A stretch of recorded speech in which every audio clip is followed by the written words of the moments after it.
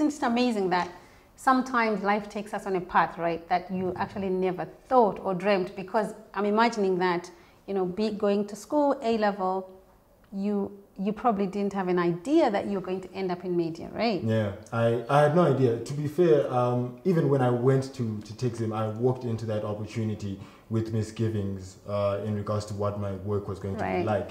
Because at the time I was really young, I was 19, or Mm. I was just I had just turned 20, I think. And so my feeling was that I'm going to be reviewing cool phones. Uh, I really wanted to write about tech and gadgets because I'm obsessed about you know technology. Mm. And then what I realized after taking the job up is that's not what was needed.